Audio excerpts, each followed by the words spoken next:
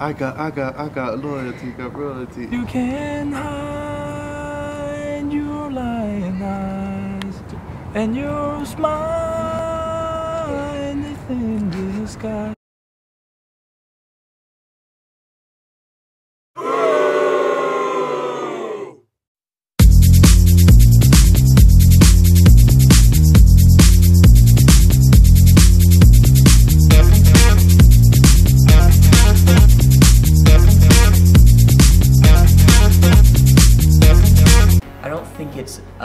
Good way of getting at them to sort of separate individual parts of an identity. I can talk about my sexuality, but my experience with that is almost completely coupled with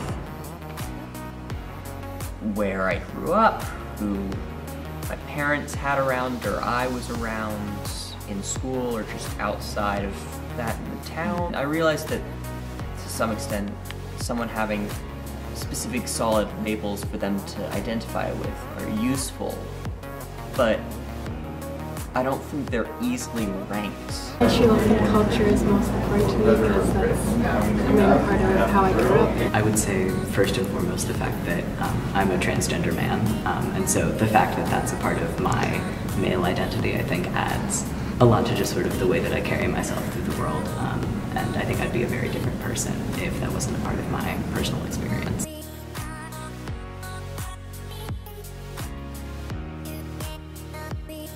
Personally think I eat my own country's food to express my own identity because I, I ate at home for my past 18 years. So it's really hard to um, adapt to the new food or I being really like my own country's food. Music. Um, talking friends. I express my identity through my clothes and definitely through the music I listen to and a lot through the sports I play.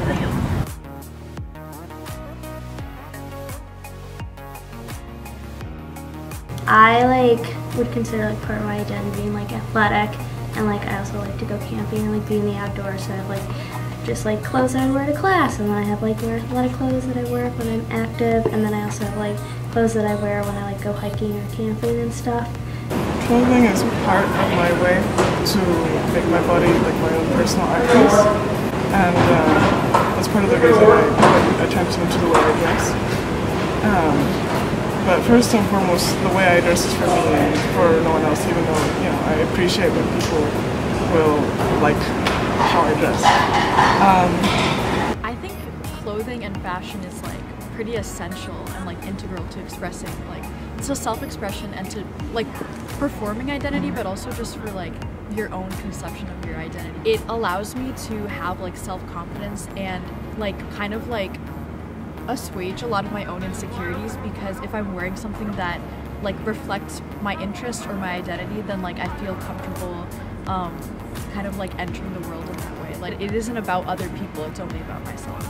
I like looking good, but it's more of a personal thing than what other people would think about me. I you know I take time to like I don't know dress in the morning, but that's just because like a routine, you know. Yeah, it's, it's part of something that like yeah that I need. it's part of me already. Yeah. Your mentality like outlook on the world changes just from like wearing the right thing. And honestly, when I go out of my room in the morning and I'm not wearing like, and something Yeah. isn't right about Feel my unstable. outfit, yeah, like Yeah. I can feel it and there's just yeah, I could like even be late to my first like yeah. Yeah, I'm the same way. Yeah. yeah, and each like got, like thing that I own, like part of my clothing or whatever, usually has like a story behind it or like a meaning.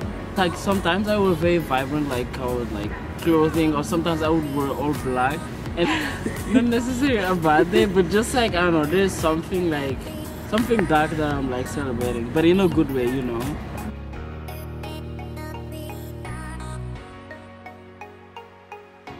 I don't really care like so much about the name brand. I do like shop at like a couple or a handful of stores that I go to like on a more regular occasion, but it's more just because I like the clothes that they have, not so much like hmm. the name brand of the store. And personally, I don't think brand names are important. I feel like clothing is just cloth, and the cloth that you pick is your choice. And to have a brand attached to it doesn't give it uh, any more, I guess, uh, power than otherwise. Personally, like labels do not matter when it comes to growth. If I do not tend to like associate clothing and like you know personality slash like labeling people. Yeah, I do feel like labels, like, not even just with fashion, but like in general, like they're important for like categorizing. But personally, I tr- like it's. I think it's like better to like move towards like rejecting labels. People care way too much about what other people think about them. and- Yeah. yeah. I'm Shouldn't personally, care. yeah, Yeah. yeah. I never care. I'm Yeah. sorry. Yeah.